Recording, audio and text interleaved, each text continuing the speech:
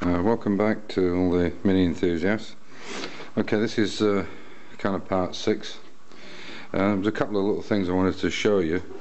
Um, this this particular um, welding device or, or, helper is is called a Cleco clip, and basically what you do is you just drill a hole through two of your panels, and then you can use this uh, pliers to, to sit on, and you can see. Hopefully, you can see when I lift it See how that spring operates? And I can lift, lift that out.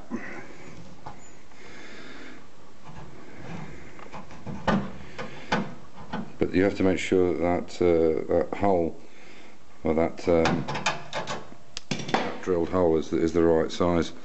And this is uh, another one that comes with a kit. This is basically just a, uh, like a, like a set of mole grips, if you like. They're very, very strong quite got, got quite a strong grip on it and that normally comes with a kit. So and the other ones are uh, I think they're known in America as as uh, intergrips. Um, these are really good because if you need to uh, do, do a, uh, a butt weld where you're welding two pieces of metal in line with each other uh, these hold the, the standoff in the center is the perfect gap for, for welding for MIG welding. And this is what it would look like um, if you'd imagine these were two pieces. So that's the kind of gap that it gives you. I mean these are, these two pieces are just off cut so they wouldn't be perfectly straight but that's the kind of gap that it gives you. So these are a few little things a few little tips you can you can use. Okay with with uh, cutting metal you've got this kind of tool which is basically this is for putting a uh, an, an, edge on a on a on a piece of metal so that you have an overlap and you can drill or punch holes. The other side here is for punching holes, and that side does the the edging. And the the handheld equivalent is this one. Uh, this is the, this is basically the same tool, um, except one side, except you're doing it by hand. This is the the bit that we were looking at before and all you do is you just twist this head around on this body that's basically how it works um, as far as uh, MIG welding is concerned you've this is if you've got a situation where you want to do uh, recreate spot welds or um, uh, this is this is basically got the two legs on it. So what happens is when you put it onto the metal you get the the perfect as you go down onto it you get the perfect standoff. So you've got the right gap every time and you'll get a nice weld. And, and the kind of weld you can get is something don't know maybe something something like this.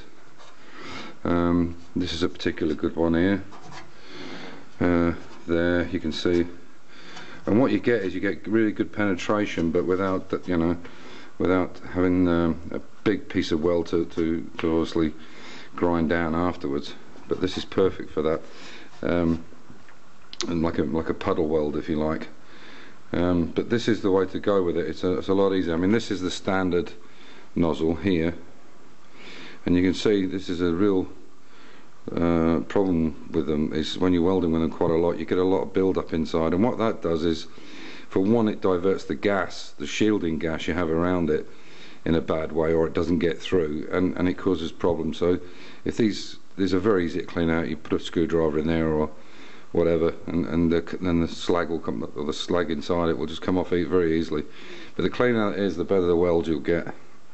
So these are just a few little things. So as you can see we we are now um, I've now put this boot panel in. It's actually cut to shape and now what I've done is I've done that this this panel this patch here. This redone this one because it was quite a mess in here. I've redone this one and the one up in the corner. So now I'll start putting the floor in this part of the floor in. And you can see hopefully underneath uh, how that looks uh, you can see obviously there's a bit of a gap there because I've got to I've got to put these long mole grips on and then all this will come up in line. And then once it's had some seam sealer in it it should look really nice. So we'll call this part 6 Uh, and then obviously the next ones to go in will be these sections which fit which fit like that up here. And then they're bolted with the rear trunnions. So uh, yeah so looking for for part 7 and hopefully this has been of some interest here but really these these things like these Cleco clips and uh, these intergrips for butt welds and so on they, they really are a good bit of kit.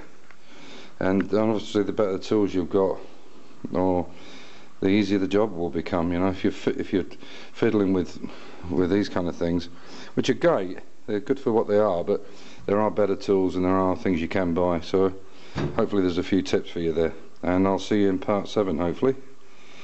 Uh, thanks for watching and if you like and please subscribe. Bye for now. Take care.